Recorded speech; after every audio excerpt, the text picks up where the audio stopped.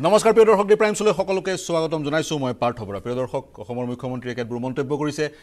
সেই মন্তব্যবোৰে শিৰোনাম দখল কৰিছে। প্ৰথম মন্তব্য অসমৰ ৰাইজে এশ বছৰ ধৰি আজমলবোৰৰ সৈতে পুনৰ কৈছোঁ ক'ত আন ক'ত আজমলবোৰৰ সৈতে যুঁজি থাকিব লাগিব। এয়া সভ্যতাৰ যুঁজ সভ্যতা ৰক্ষাৰ যুঁজ সংস্কৃতিৰ যুঁজ। আৰু সমান্তৰালকৈ তেওঁ কৈছে আজমলবোৰৰ সৈতে সংঘৰ্ষ কৰাৰ বাদে অসমীয়াৰ বিকল্প নাই। এতিয়া প্ৰশ্ন বহুকেইটা উত্থাপন হয় এই আজমলবোৰ কোন? মুখ্যমন্ত্ৰীয়ে আজমলবোৰ বুলি কৈ কাক ইংগিত দিছে কি সম্প্ৰদায়ক ইংগিত দিছে সেই এক ডাঙৰ প্ৰশ্ন। ইয়াৰ মাজতো আন বহুকেইটা প্ৰশ্ন উত্থাপন হয়। এই যুঁজ অসমীয়াই কিয় কৰিব লাগিব? এই যুঁজ কিহৰ যুঁজ? অস্তিত্ব ৰক্ষাৰ যুঁজ অৰ্থনৈতিক অস্তিত্ব ৰক্ষাৰ যুঁজ জীৱনশৈলী ৰক্ষাৰ যুঁজ সাংস্কৃতিক যি অস্তিত্ব সেই ৰক্ষাৰ যুঁজ নে অৰ্থনৈতিক অস্তিত্ব ৰক্ষাৰ যুঁজ যি সময়ত সংবিধানে ভাৰতবৰ্ষৰ প্ৰতিখন প্ৰতিজন নাগৰিকক সম অধিকাৰ প্ৰদান কৰিছে প্ৰতিটো ধৰ্মক সমমৰ্যাদা প্ৰদান কৰিছে সেই তেনেধৰণৰ এক পৰিস্থিতিত অসমীয়াই এই যুঁজ কেনেকৈ আগবঢ়াই লৈ যাব? আৰু যদিহে যুঁজখন আগবঢ়াই লৈ যায় আজমলবোৰ বুলি কৈ মুখ্যমন্ত্ৰীয়ে যি যিসকল লোকৰ কথা কৈছে সেইসকল লোক কোন কেনেকৈ চিনাক্ত কৰা হ'ব আৰু তেওঁলোকৰ বিৰুদ্ধে যি যুঁজ সেই যুঁজত অসমীয়াসকল মুখ্যমন্ত্ৰীৰ দৃষ্টিত যিসকল অসমীয়া সেইসকলৰ সৈতে সেই যুঁজত কেনেকৈ অৱতীৰ্ণ হ'ব? এই প্ৰশ্নৰ আমি উত্তৰ বিচাৰিম। তাৰ সমান্তৰালকৈ ৰাজনৈতিক প্ৰশ্নসমূহো আছে। যেতিয়াই নিৰ্বাচন সমাগত হয় নিৰ্বাচন ওচৰ চাপি আহে নঙলামুখত নিৰ্বাচন তেতিয়া এনেধৰণৰ কথাবোৰ আখৈ ফুটা দি ৰাজনৈতিক নেতাসকলৰ মুখত ফুটে নেকি? মেৰুকৰণৰ এয়া এক প্ৰগ্নচিছ নেকি বা মেৰুকৰণৰ এক পৰিকল্পনা নেকি নিৰ্বাচন সমাগত যিহেতু? কিন্তু আৰম্ভ কৰিম আজমল কোন সেই প্ৰশ্নৰ উত্তৰ বিচাৰি আমাৰ ষ্টুডিঅ'ত আমাৰ সৈতে সংযুক্ত হৈ আছে পবিত্ৰ মাৰ্ঘেৰিটা ৰাজ্যসভাৰ সাংসদ বিজেপিৰ তথা মুখ্যমন্ত্ৰীৰ ৰাজনৈতিক সচিব। দ্বিজেন শৰ্মা আমাৰ সৈতে সংযুক্ত হৈ আছে প্ৰাক্তন সাংসদ কংগ্ৰেছৰ কুমাৰ দীপক দাস প্ৰাক্তন সাংসদ অগপৰ ষ্টুডিঅ'ত আমাৰ সৈতে উপস্থিত আছে। এ ইউ ডি এফে আজি পৰিকল্পনা কৰিছে উচ্চতম ন্যায়ালয়ৰ ওচৰ চপাৰ। তেওঁলোকে মানহানিৰ গোচৰ দিব কৈছে অসমৰ মুখ্যমন্ত্ৰীগৰাকীৰ বিষয়ে। গতিকে বিৰুদ্ধে গতিকে তেওঁলোকৰো মন্তব্য ল'ম ডক্টৰ হাৰুণ আহমেদ সাধাৰণ সম্পাদক A I U D F আমাৰ সৈতে সংযুক্ত হৈ আছে। গতিকে আলোচনালৈ আগবাঢ়োঁ। মাৰ্কেটিয়া ডাঙৰীয়া আমাৰ সৈতে সংযুক্ত হোৱাৰ কাৰণে স্বাগতম জনাইছোঁ আমাৰ ষ্টুডিঅ'লৈ অহাৰ কাৰণে। প্ৰথমতে আপোনাৰ পৰাই আৰম্ভ কৰিম। মুখ্যমন্ত্ৰীৰ যি মন্তব্য কালিৰে পৰা শিৰোনাম দখল কৰি আছে কালিও আমি এই সন্দৰ্ভতে আলোচনা কৰিছিলোঁ। আজি দ্বিতীয় দিন আমি আলোচনা কৰিছোঁ বিশ্লেষণ কৰিব বিচাৰিছোঁ। কি তেওঁ কিহৰ ইংগিত বহন কৰিছে? এই আজমলবোৰ কোন আপোনাৰ দৃষ্টিত মুখ্যমন্ত্ৰীয়ে কাক ইংগিত দিছে এই আজমলবোৰ যাক ইংগিত কৰিছিল অম্বিকাগিৰি ৰায়চৌধুৰীয়ে এই আজমলবোৰ যাৰ বাবে থিয় দিছিল লোকপ্ৰিয় গোপীনাথ বৰদলৈৰ পৰা বিষ্ণুৰ মেধিলৈকে।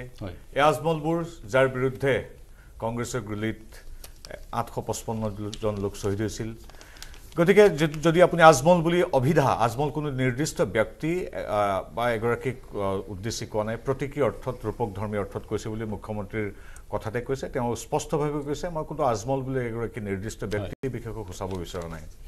আৰু এই কথাটো প্ৰথমতে আমি কৈ ল'ব লাগিব যে ভাৰতীয় জনতা পাৰ্টীৰ মাজে মাজে বিৰোধী সংগঠিত গোষ্ঠীবিলাকে সাম্প্ৰদায়িক বুলি ক'বলৈ যায় যদিও ভাৰতীয় জনতা পাৰ্টীৰ এটা প্ৰধান ধৰ্ম হ'ল সৰ্বধৰ্ম সমভাৱ আৰু সেই নীতিৰ বাবে আপোনালোকে লক্ষ্য কৰিছে বিগত প্ৰায় চাৰে সাত বছৰ বা সাত বছৰত অসমত আজিলৈকে কোনো এটা গোষ্ঠীগত সংঘৰ্ষ সাম্প্ৰদায়িক বা ধৰ্মীয় সংঘৰ্ষ হোৱা নাই। আটাইতকৈ শান্তিপূৰ্ণভাৱে আটাইতকৈ শান্তিপূৰ্ণভাৱে বিগত আঢ়ৈ বছৰৰ কথা সৰ্বত্ৰে ভাৰতৰ বিভিন্ন প্ৰান্তত চৰ্চিত হৈছে। হিন্দু মুছলিম খ্ৰীষ্টান জৈন প্ৰতিটো জাতি ধৰ্মাৱলম্বী লোক আজি শান্তি সম্প্ৰীতিৰে আছে। আৰু বিগত ন বছৰতো নৰেন্দ্ৰ মোদীদেৱৰ ৰাজধৰ্মৰ বাবেই কোনো ধৰণৰ এটা গোষ্ঠীগত সংঘৰ্ষ হোৱা নাই কোনো এটা সাম্প্ৰদায়িক সংঘৰ্ষ হোৱা নাই। এতিয়া কথা হ'ল যিটো আপুনি মই মোক যদি ক'বলৈ আৰু নিশ্চয় নিশ্চয়। এক মিনিট কিন্তু সকলোৰ ওচৰলৈ আহিম। ঠিক আছে। গতিকে এই কথাখিনি মই এইখিনিতে ক'লোঁ যে ইয়াত ৰাজধৰ্ম পালন কৰি আমি আগুৱাই যাওঁ। তাত কোনো ধৰণৰ নিৰ্দিষ্ট সম্প্ৰদায়ৰ কথা কোৱা নাই। কিন্তু স্বাভাৱিকভাৱে প্ৰাকৃতিকভাৱে এটা ভৌগোলিক খণ্ডৰ কিছু লোকে কেতিয়াও কোনো পৃথিৱীৰ কোনো জাতিয়ে কোনো এখন ৰাজ্য বা দেশৰ কোনো লোকে কোনো নৱাগত সন্দেহযুক্ত মানুহক নিজৰ শাসন নিজৰ ওপৰত নিজৰ মানুহৰ ভূমিৰ শাসন নিজৰ শাসন নিজৰ ভাষা সংস্কৃতি প্ৰদানত হ'বলৈ নিদিয়ে। এইটো মানৱ মানুহ বা মানুহ প্ৰজাতিৰ এটা স্বাভাৱিক ধৰ্ম। ইয়াত কোনো সাম্প্ৰদায়িকতা নাই। এইটো এটা মানুহে মন মগজু আত্মাক হাজাৰ বছৰ ধৰি কঢ়িয়াই ফুৰা এক প্ৰবৃত্তি যে নিজৰ শাসন নিজৰ হাতত ৰখাটো। গতিকে ৰাজধৰ্ম পালন কৰি সাংবিধানিক আওতাৰ ভিতৰত থাকি এই কথাখিনি ক'ব পাৰি। এইটো এটা মানৱীয় ইচ্ছা। এই ইচ্ছাৰ ভিতৰত থাকি মুখ্যমন্ত্ৰী মহোদয়ে সাংবিধানিক দৃষ্টিকোণ ৰক্ষা কৰিয়ে কথাখিনি কৈছে। সাংবিধানিক দৃষ্টিকোণ ৰক্ষা কৰি কথাখিনি কৈছে। মই উদ্দেশ্য বা মোৰ প্ৰশ্ন যিকেইটা উত্থাপন কৰিছিলোঁ সেই প্ৰশ্ন উত্থাপন মুখ্যমন্ত্ৰীগৰাকীয়ে যিধৰণে বক্তব্য ৰাখিছে বক্তব্যটোকো যদি আমি সৰলীকৰণ কৰিব পাৰোঁ বা যিহেতু যুঁজিবলৈ কৈছে তেওঁ এশ বছৰ গতিকে আমি শত্ৰুসকল চিনাক্ত কৰিব পাৰোঁ। বিভিন্ন সময়ত প্ৰশ্ন উত্থাপন হৈছে আজমলসকল বুলি কৈ বা আজমলবোৰ বুলি কৈ পমুৱা মুছলমানসকল বংগমূলীয় মুছলমানসকলক উদ্দেশ্যি তেওঁ এই মন্তব্য কৰিছে নেকি? বা বংগমূলীয় লৰ উদ্দেশ্যে এই মন্তব্য কৰিছে নে? এইবোৰ প্ৰশ্ন উত্থাপন হয়। মই কংগ্ৰেছৰ প্ৰতিক্ৰিয়া ল'ব বিচাৰিম। দ্বিজেন শৰ্মা ডাঙৰীয়া পবিত্ৰ মাৰ্ঘেটীয়া ডাঙৰীয়া যি প্ৰতিক্ৰিয়া প্ৰকাশ কৰিলে যি মন্তব্য প্ৰকাশ কৰিলে আপুনি কি প্ৰতিক্ৰিয়া প্ৰকাশ কৰে? চাওক এজন ব্যক্তি বিশেষক লৈ পেলাই এটা টক শ্ব' হোৱা উচিত নহয়। ঠিক তেনেকৈ এই আজমল বুলি ক'লে সাধাৰণতে মানুহৰ মনলৈ বদৰুদ্দিন অসমত বদৰুদ্দিন আজমলৰ কথাটো মনলৈ আহে। যদিও আজমল। বৰ বুলি কৈছে। আৰু এটা গোষ্ঠী বা এটা জাতিক যিকোনো সময়তে তেওঁলোকক দোষী সাব্যস্ত কৰি তেওঁলোকক সমালোচনা কৰি থকাটো মই সমৰ্থন নকৰোঁ। হয়। এতিয়া আজমল বল বুলি কোৱাৰ লগে লগে আমি এইটোৱে বুজিছোঁ যে বংগমূলীয় যিসকল মুছলমান মানুহ তেওঁলোকক টাৰ্গেট কৰি বা তেওঁলোকক উদ্দেশ্য কৰি এই কথাবিলাক মুখ্যমন্ত্ৰী ডাঙৰীয়াই কৈ আছে। সাধাৰণতে যেতিয়া নিৰ্বাচন আহে অসমত দুজন ব্যক্তি সক্ৰিয় হৈ উঠে এজন হ'ল বদৰুদ্দিন আজমল আৰু এজন হিমন্ত বিশ্ব শৰ্মা। দুয়ো সক্ৰিয় হৈ আছে দুটা লাইনত। আৰু লাইন দুই লাইনতে সাম্প্ৰদায়িক কথা ক'বলৈ আৰম্ভ কৰোঁতে। কৰি সাম্প্ৰদায়িক কথা ক'বলৈ আৰম্ভ কৰে। অৰ্থাৎ আপুনি ক'ব বিচাৰিছে স্ক্ৰিপ্টেড পৰিকল্পিত? পৰিকল্পিতভাৱে এইটো কৰা হৈছে। পৰিকল্পিতভাৱে এইখন এখন নাটক আৰু এই নাটকখনৰ মূল উদ্দেশ্য হৈছে যে এফালে হিন্দু মানুহ পলাৰাইজ কৰিব লাগে আনফালে মুছলমানক কেনেকৈ কাউণ্টাৰ দিব? মুছলমানক পলাৰাইজ। কৰিব লাগে। আমাৰ বক্তব্যটো হ'ল যে দীপক দাস ডাঙৰীয়া আছে অসমত এখন চুক্তি হৈছিল অসম চুক্তি। হয়। এই বংগমূলীয় মুছলমানৰ কথা ক'বলৈ মই গৈ পেলাই মই এই কথাটো কৈছোঁ সেই চুক্তিখন মনে মতে তাৰ আগত এটা অসম আন্দোলন হৈছিল যি- যি আন্দোলনত দীপক হয়। জড়িত আছিলে। এতিয়া সেই আন্দোলনত লাখ লাখ বিদেশী অসমত আছে বুলি কৈছিলে আৰু সেই উদ্দেশ্য লাখ লাখ বিদেশীৰ ক্ষেত্ৰত টাৰ্গেট কৰা হৈছিল বংগমূলীয় মুছলমানসকলক এতিয়া যেতিয়া এখন চুক্তি হ'ল সেই চুক্তিমতে সেই চুক্তিখন ৰূপায়ণ। ৰূপায়ণ কৰি পেলাই সেইসকল মানুহ যিসকল অবৈধভাৱে ইয়াত আছে তাক বাহিৰ কৰি দিব লাগিছিলে। তাকে নকৰি তাকে তেওঁলোকে কৰিব নোৱাৰিলে অগপৰ দহ বছৰৰ শাসন আৰু- এতিয়া সাত বছৰৰ বিজেপিৰ শাসনত তেওঁলোকে সেই কামটোৰ নগ'ল। বছৰটো পোন্ধৰ বছৰটো কিন্তু চুক্তি ৰূপায়ণ নহ'ল। নহ'ল। আপোনালোকৰ পোন্ধৰ বছৰটো নহ'ল। নাই হোৱা। পোন্ধৰ বছৰতো হোৱা নাই পোন্ধৰ বছৰত পঞ্চাছ বছৰতো নহয়। নহয়। গতিকে এতিয়া এই যেতিয়া কামটো নহ'ল এটা এটা এ- এ- ঠিক এ- এ- এটা ধৰ্মীয় মানুহ শ্ৰেণীৰ মানুহক উদ্দেশ্যি কথা কোৱা এই ধৰ্মীয় শ্ৰেণীৰ মানুহক সদায় টাৰ্গেট কৰি কথা কৈ থকাটো বা তেওঁলোকক এটা এটা অপমানসূচক এটা কথা কৈ থকাটো সেইটো উচিত নহয়। উচিত তেওঁ এইখন তেওঁলোকে। এইখন সমাজতে আছে আৰু তেওঁলোকক গ্ৰহণ কৰিছে আইনগতভাৱে। গতিকে তাৰ পিছত এই ধৰণে কথা কৈ থকাটো উচিত মই নহয়। উচিত নহয় বুলি কৰো ইয়াৰ উদ্দেশ্য হৈছে সাম্প্ৰদায়িকতা বিয়পাই ভোট গ্ৰহণ কৰিব লাগে দীপক দাস ডাঙৰীয়া এশ বছৰ যুঁজি থাকিব লাগিব ইয়াৰ অৰ্থ এইটো হৈছে অসম চুক্তি ছয় নং দফা এশ বছৰলৈকে ৰূপায়ণ নহ'ব। কিন্তু এই যি যুঁজি থকাৰ বা এই যি সমস্যা অস্তিত্বৰ সংকট এই সংকটৰ সমাধান সূত্ৰ কিছুমান ওলাইছিলে যিবোৰ ৰূপায়ণ কৰা নহ'ল। দ্বিজেন শৰ্মা ডাঙৰীয়াই কৈছে অসম চুক্তি স্বাক্ষৰ হৈছিলে অসম চুক্তিৰ ছয় নং দফা আছিলে বা এতিয়া সমষ্টি পুনৰ নিৰ্ধাৰণ কৰি অসমীয়াৰ সুৰক্ষাৰ সুৰক্ষা কৰা হৈছে বুলি দাবী শাসক দলে কৰে। তেনে প্ৰেক্ষাপটত সেই আজমলবোৰক আপুনি কোন বুলি ভাবে বা সেই আজমলবোৰ বুলি মুখ্যমন্ত্ৰীয়ে যাক লক্ষ্য কৰি বা উদ্দেশ্য কৰি কৈছে সেইবোৰ কোনবোৰ মানুহ বুলি ভাবে? বা সেইবোৰ সঁচাকৈ অসমীয়া ভাষাৰ কাৰণে বা অসমীয়া জাতিৰ কাৰণে সংকটৰ কাৰণ চাওক আজমলৰ আজিৰ স্থিতি যিটো আছে আৰু আজমলৰ যিটো দল A. I U D F হয়। সেই দলটোৰ সৃষ্টিৰ যিটো মূল কথা বা যিটো ভেটি আছিলে সেই ভেটিটোলৈ যদি আপুনি যায় দেখিব যে যিসকল অবৈধভাৱে অসমত আহি বসবাস কৰিবলৈ লৈছিলে। হয়। যাৰ কাৰণে অসমত এটা আন্দোলন হৈছিলে আমাৰ শৰ্মাই কোৱাৰ দৰে। সেই আন্দোলনটোৰ জৰিয়তে সেই অবৈধ অবৈধ সেই বিদেশী নাগৰিকখিনিক তেওঁ তেওঁলোকক প্ৰতিনিধিত্ব কৰে। তেওঁলোকক প্ৰতিনিধিত্ব কৰে আৰু তেওঁলোকৰ কাৰণেই তেওঁলোকে যুঁজিবলৈ এটা পণ লৈ এই দলটো গঠন কৰিছিলে। সেইটো যদি ইতিহাস আপোনালোক খুচৰি চাই সেইটোৱে পাব। এতিয়া হয় যে এখেতে কৈছে আমাৰ কংগ্ৰেছৰ। প্ৰতিনিধিগৰাকীয়ে যে সকলো সময়ত তেওঁলোকক টাৰ্গেট কৰিব নালাগে। হয়। কিন্তু প্ৰথম টাৰ্গেট কংগ্ৰেছে কৰিছে পঞ্চাছ একাৱন্ন চনত মুছলমানৰ ওপৰত মুছলমান বা তেওঁ তেওঁৰ মানে এই ধৰ্মীয় সম্প্ৰদায়টোৰ কথা কৈছে সেই মুছলমানসকলক প্ৰথম গৰু ছাগলীৰ নিচিনা এই গৰু ম'হৰ গাড়ীত উঠাই লৈ আপুনি বৰ্ডাৰ বৰ্ডাৰ পাৰ। কৰি দিছিলে। আক্ৰমণ তেওঁলোকৰ দিনত প্ৰথম হৈছিলে। কিন্তু আমি। মই সেই পৰিস্থিতিৰ কথা দূৰলৈ মই এইকাৰণে গৈছো। কাৰণ তেওঁ আমাক ক'ব বিচাৰিছে যে এটা সাম্প্ৰদায়িকৰ সৃষ্টি কৰে সাম্প্ৰদায়িকতা কোনে সৃষ্টি কৰিছিলে? হয়। কৰে কৰে কিয়? কি আপুনি আৰু আমি। আঞ্চলিকতাবাদ মই মই। অসম গণ পৰিষদ দল আঞ্চলিকতাবাদ দল দল এটা কৰিছো। অসম আন্দোলনৰ পিছত এই দলটোৰ সৃষ্টি। হৈছে। ইয়াৰ মূল কথাটো ভেটিটো কি? মই বিদেশী মুক্ত হ'ব লাগে। মই বিদেশী মুক্ত অকল নহয়। অসমৰ প্ৰতিজন মানুহ অসমৰ খিলঞ্জীয়া প্ৰতিজন মানুহৰ নিজৰ যি অধিকাৰ যিটো সাংবিধানিক অধিকাৰ যি ৰাজনৈতিক অধিকাৰ অৰ্থনৈতিক অধিকাৰ সেই সকলো অধিকাৰ তেওঁলোকক দিব লাগিব আৰু তাৰ কাৰণে আজি আন্দোলনটো সৃষ্টি হয় সেইকাৰণে সেইটোৱে কথা কৈছো এশ। এশ বছৰ যুঁজি থকাৰ কথা সেই কথাটো সেইকাৰণে মই কৈছিলো এতিয়া এতিয়া কথাটো হৈছে যে আজিৰ যিটো প্ৰশ্ন আজিৰ যিটো। প্ৰশ্ন আজি যিবিলাক কথা। আজমল ডাঙৰীয়াই কৈ আছে। সেইবিলাক কথাই আচলতে মুছল যিসকল মুছলমান বুলি আমি কওঁ মুছলমানক প্ৰতিনিধিত্ব কৰি কোৱা নাই তেওঁ কাক প্ৰতিনিধিত্ব কৰি কৈছে সেইসকল অবৈধ মুছলমান যিসকলে ইয়াত বসবাস কৰি আছে। তেওঁলোকৰ নাম কৈ ভোটৰ। ভোটৰ স্বাৰ্থত তেওঁলোকে এইবিলাক কথা কৈছে। কিন্তু ভোটৰ স্বাৰ্থত এনেধৰণৰ কথা কৈ এই সমাজখনক বিভাজন? কৰাৰ চেষ্টা যেতিয়া কংগ্ৰেছৰ দিনত আৰম্ভ হৈছিল। তাক ৰোধ কৰাৰ কাৰণে আমি অসমৰ জনসাধাৰণ চেষ্টা কৰিছো। আৰু আজিও আজিও হিমন্ত বিশ্ব শৰ্মা ডাঙৰীয়াৰ হয়। এটা সময়ত কংগ্ৰেছত আছিল তেওঁ হিমন্ত বিশ্ব ডাঙৰীয়াৰ। কথাটো আনিছে নামটো কৈছে হিমন্ত। বিশ্ব আপুনি কি ক'ব বিচাৰিছে? শৰ্মাৰ বিৰুদ্ধে থাকে। সদায় দুটা মেৰুত।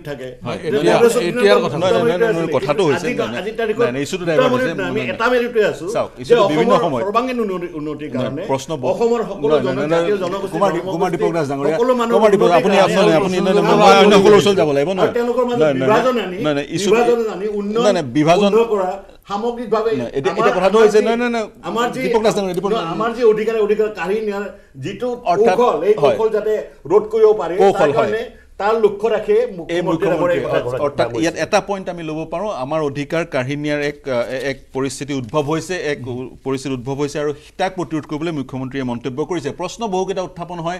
মুখ্যমন্ত্ৰীগৰাকীয়ে বিগত সময়ত আৰু এটা মন্তব্য কৰিছিলে যদিহে বংগমূলীয় মুছলমানসকল ঘৰলৈ গুচি যায় তেতিয়া গুৱাহাটী খালী হৈ যায় অৰ্থাৎ অৰ্থনৈতিক যিখন আমাৰ বজাৰখন বজাৰখন তেওঁলোকৰ দখলত আছে ইত্যাদি ইত্যাদি মন্তব্য মন্তব্যবোৰ কৰিছিলে। বহু প্ৰশ্ন উত্থাপন হয়। বিভিন্ন সময়ত শুনা যায় অসমীয়া ভাষাটো ৰক্ষা ৰক্ষা অসমীয়া ভাষাটো আজি যদি প্ৰচলিত হৈ আছে বা পঞ্চাছ শতাংশ লোকে অসমীয়া ভাষা কৈ আছে ইয়াৰ এক অন্যতম কাৰণ বংগমূলীয় মুছলমানসকল কাৰণ তেওঁলোকে তেওঁলোকৰ মাতৃভাষা অসমীয়া বুলি চেঞ্চাছলৈ চেঞ্চাছ লিখিছে। লিখিছৰ চেঞ্চাছৰ নথি ল'বলৈ যোৱা বিষয়াজনক সেই ধৰণে কয়। এনেবোৰ প্ৰশ্ন মই উত্তৰ বিচাৰিম পবিত্ৰ মাৰ্ঘেৰিটা ডাঙৰীয়াও আছে মই এ আই ইউ ডি এফৰ প্ৰতিনিধিগৰাকীৰ ওচৰলৈ যাব বিচাৰিম। ডক্টৰ হাৰুণ আহমেদ আপোনালোক আদালতলৈ যোৱাও পৰিকল্পনা কৰিছে আপোনালোকে কি পদক্ষেপ গ্ৰহণ কৰিব? কাৰণ মুখ্যমন্ত্ৰীয়ে বহু কথাই কৈছে।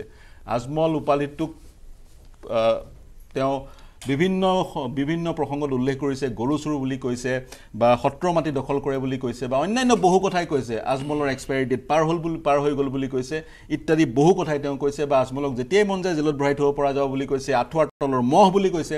গতিকে তেনে ক্ষেত্ৰত আপোনালোকৰ দলটোৰ পৰা যি ধৰণৰ তৎপৰতা প্ৰদৰ্শন হ'ব লাগিছিলে প্ৰতিক্ৰিয়া প্ৰকাশ কৰাত সেই ধৰণৰ তৎপৰতা প্ৰথম কথা প্ৰদৰ্শন নহ'ল। দ্বিতীয়তে আইনী যুঁজ এখনৰ কাৰণে আপোনালোক অগ্ৰসৰ হৈছে। কি পৰিকল্পনা? হয় পোনপ্ৰথমে মই ক'ম মুখ্যমন্ত্ৰী ডাঙৰীয়াৰ যি মন্তব্য আছিল ই অতি সাম্প্ৰদায়িক মন্তব্য আৰু এজন সংবিধানৰ শপত লোৱা ব্যক্তিয়ে এই ধৰণৰ মন্তব্য দিয়াটো এক শুভ চিন্ত এক শুভ লক্ষণ নহয় আৰু ৰাজ্যখনৰ কাৰণে ই এটা এক অশুভ লক্ষণ। হয়। আৰু আমি বিগত দিনবিলাকত দেখা পাইছোঁ যেতিয়াই নিৰ্বাচন আহে তেতিয়া তেখেতে ধৰ্মীয় মেৰুকৰণৰ কাৰণে এই ধৰণৰ মন্তব্য দি আৰম্ভ কৰে। আজমলক আমি বিধানসভাৰ পৰা ইমান কিলোমিটাৰ দূৰত ৰাখিম। আমি এই ধৰণৰ কাম কৰিম সেই ধৰণৰ কাম কৰিম।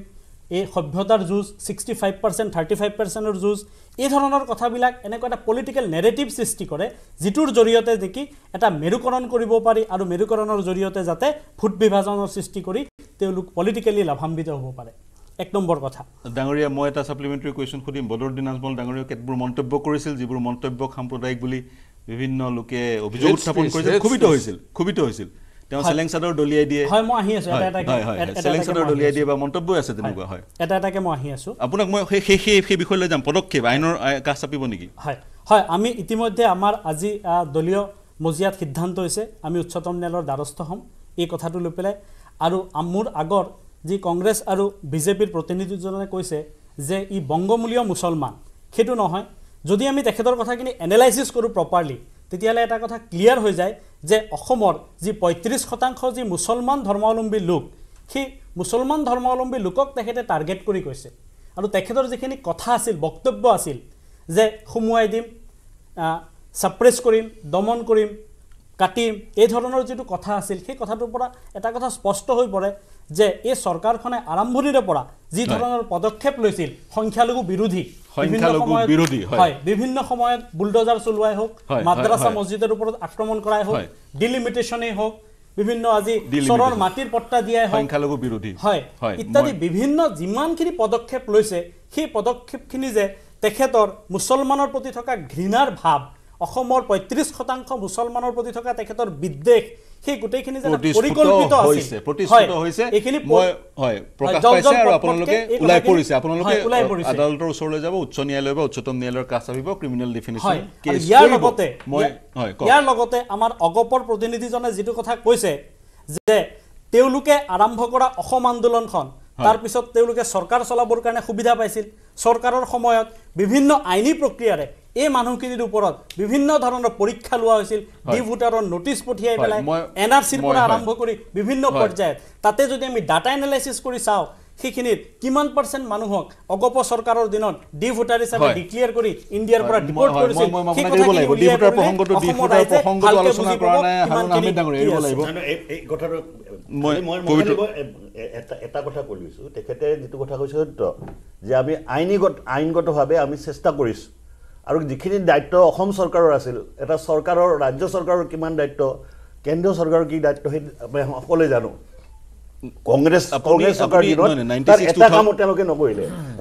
সেই দায়িত্ব পালন নকৰাৰ কাৰণে এই এই সমস্যাৰ সৃষ্টি হৈছে। কিন্তু এতিয়াৰ কথা কি কৰিব? যোৱা দুহেজাৰ চৈধ্যৰ পৰা কেন্দ্ৰতো বিজেপিৰ চৰকাৰ বা অসমতো বিজেপিৰ চৰকাৰ বা সেই চৰকাৰ আপোনালোক সহযোগী দল। এতিয়া অৱকাশ আছিলে তাৰ পিছতো কি ৰূপায়ণ হ'ল সেইটো ডাঙৰ প্ৰশ্ন। মই সেই প্ৰশ্নটোকে আপোনাক সুধিম কিন্তু মই পবিত্ৰ মাৰ্ঘেৰিটা ডাঙৰীয়া ওচৰলৈ যাম। তেওঁ ঘৃণাৰ ভাৱৰ যিটো কথা কৈছে হয়। ঘৃণা ভাৱৰ সৃষ্টি প্ৰথম কোনে কৰিলে? তেওঁলোকে কৰিলে।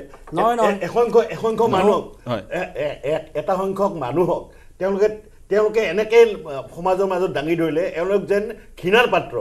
কাৰণ তেওঁ যিখিনি ভাষণ আজমল ডাঙৰীয়াৰ আগত ইয়াত ভাষণ দিছিল।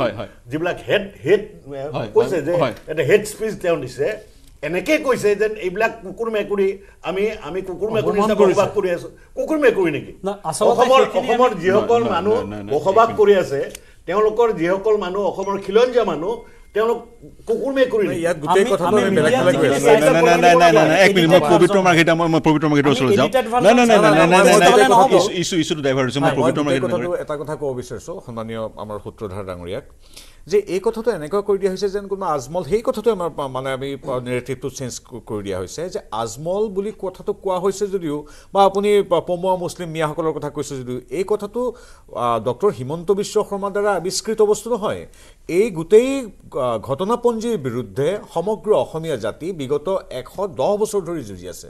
গতিকে এইটো সাম্প্ৰতিকতা নহয়। তেতিয়াহ'লে মোৰ পুলিন কোঠা বা মোৰ পূৰ্বপুৰুষসকলৰ মই বাৰে বাৰে কৈছোঁ অম্বিকাগিৰি ৰায়চৌধুৰীৰ পৰা গোপীনাথ বৰদলৈৰ পৰা এই গোটেই মানুহখিনিয়ে আচলতে বিৰুদ্ধাচৰণ কৰিছোঁ আমি দশক দশক জুৰি এটা প্ৰজন্মৰ পিছত এটা প্ৰজন্ম। মই কৈছোঁ এইটো কথাটো। নহয় মই প্ৰশ্নটো প্ৰশ্নটো আপুনি লৈ না, না, লওক, এই কথাটো নহয়। এটা ডাঙৰ গোটেই বস্তুটোৱে বেলেগকৈ গৈ আছে। কাৰণ আজমলৰ কথাটো কওঁতে এজন আজ- আজমলৰ কথা কোৱা নাই। ঊনৈছশ এঘাৰ চনৰ আজমলজনৰ কথা কোৱা হৈছে।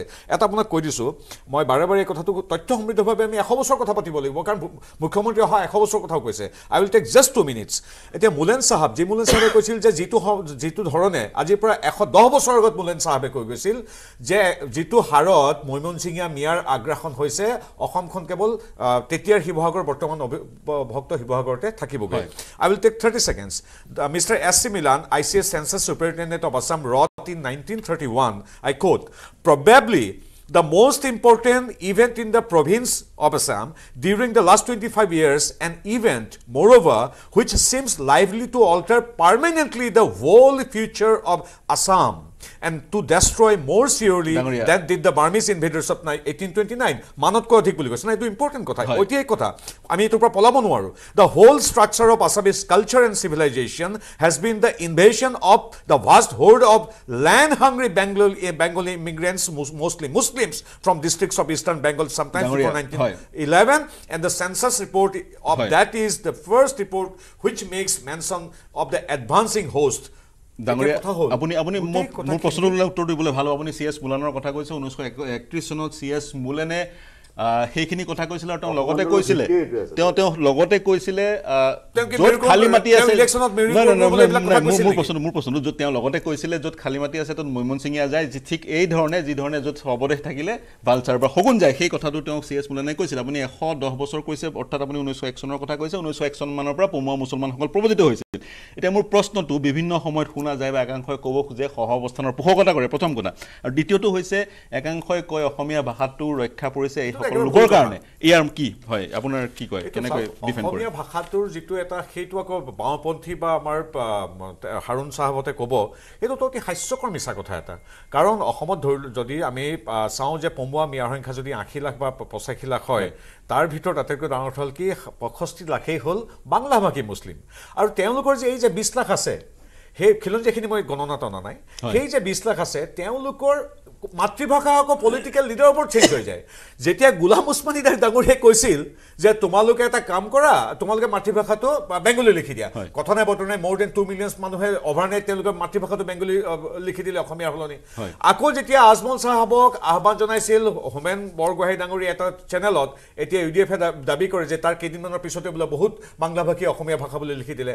অৰ্থাৎ তেওঁলোকে নিৰ্দিষ্ট উছমানী বা আজমলসকলৰ কথাত তেওঁলোকে মাতৃভাষাটো চেঞ্জ কৰি লিখি দিব পাৰে আৰু অসমীয়া জাতিটো এনেকুৱা এটা জাতি নহয় যে কাৰোবাৰ কোনোবাই ইচ্ছামতে ক'ব ৰাজনৈতিক মানুহৰ নিৰ্দেশত। যে তোমাৰ মাতৃভাষাটো চেঞ্জ কৰি দিয়া পৃথিৱীত ক'ৰবাত মাতৃভাষাটো চেঞ্জ হয় নেকি মাতৃভাষা। মৈমনসিঙে মিয়াৰ যিটো কথিত শৈলীত কোৱা হয় মাতৃভাষা তেওঁলোকৰ মাতৃভাষাই এতিয়া তেওঁলোকৰ ওপৰত নিৰ্ভৰ কৰি হাজাৰ বছৰীয়া অসম অসমীয়া সংস্কৃতি বা। ভাষা নিৰ্ভৰশীল নহয়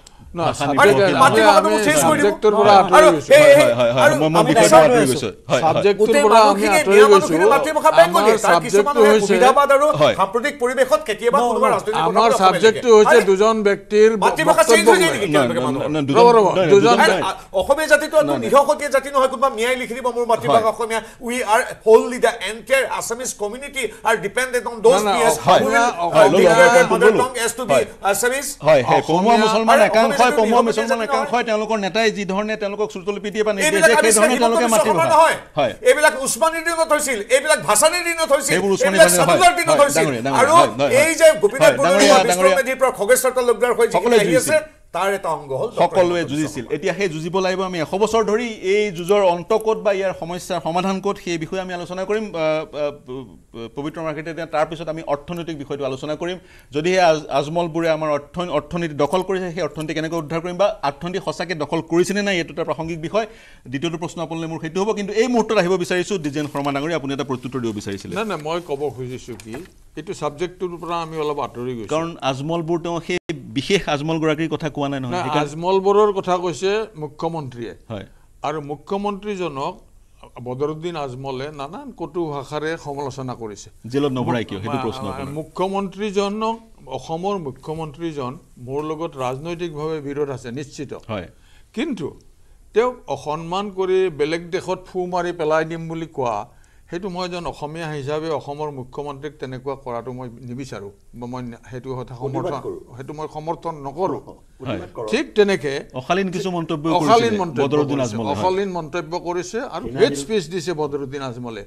দুই নম্বৰ মুখ্যমন্ত্ৰীয়ে আচল কথাটোলৈ আহক। মুখ্যমন্ত্ৰীয়ে বদৰুদ্দিন আজমলক কৈছে যে তেওঁ গৰু চোৰ। গৰু চোৰ বুলি কৈছে আৰু কৈছে যে লাভ জেহাদৰ মূল নায়কজন হৈছে এই বদৰুদ্দিন আজমল হত বুলি কৈছে। বৰ বুলি। আজমল এই? দুটাৰ মূল উদ্দেশ্যটোৱে হৈছে যে এই নিৰ্বাচন কেন্দ্ৰিক পলাৰাইজ কৰাৰ কাৰণে দুইজন ব্যক্তিৰে মিল আছে।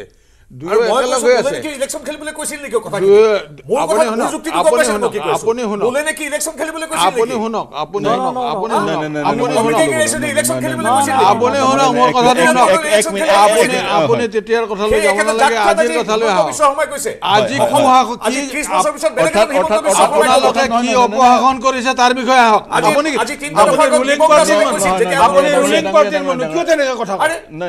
ডাঙৰীয়া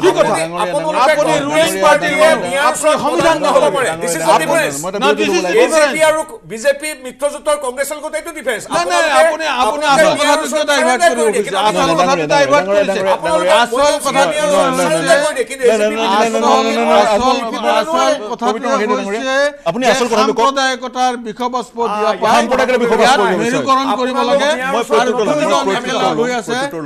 আজমল আৰু হিমন্ত বিশ্ব শৰ্মা দুয়োয়ে বক্তব্য বক্তব্য ৰাখে ৰাখি পেলাই এফালে মেৰুকৰণ কৰিব খোজে এফালে মুছলমান মেৰুকৰণ কৰিব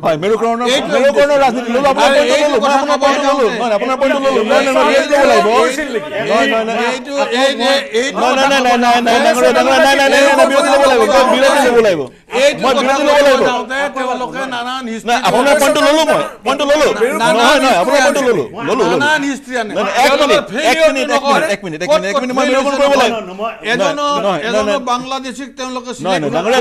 বিৰতি ল'ব লাগিব